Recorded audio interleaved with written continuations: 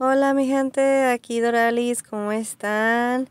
Pues como se dan cuenta mi gente, aquí les digo, les comunico que también les sea mis plantitas mi gente. Y pues ahorita me tocó trasplantar a, mis rudas, no sé cómo se llaman en inglés, pero son mis plantitas, son unas rudas, mi gente.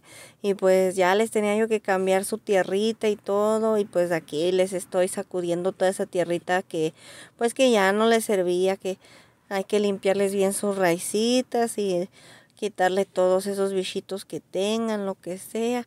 Así que digan, órale, ¿sabes mucho, Dralis? No, pues no, no sé, ¿verdad? así es que yo aquí le doy así como yo más o menos sé, como más o menos, este, pues aquí le hago la luchita con mis plantas. Ey, lo bueno que no se me secan. Así es, mi gente. Y pues nada, pues nada más le quité toda la tierrita, agarré una maceta, la limpié, le agarramos unas piedritas para que tenga drenaje y le echamos su tierrita nueva. Y pues y ya, mi gente, eso es lo único que le hice aquí a mi plantita y bien feliz y bien contenta yo, la Dorales con su plantita nueva. sí, mi gente, no, y soy de las personas que yo les voy platique y platique a mis plantitas, mi gente.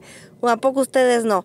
Ah, yo sí, mi gente, ah, yo sí me pongo a platicarles y a regañarlas y a decirles, o se me ponen las pilas o qué onda. No, no, no, sí, mi gente, ¿cómo?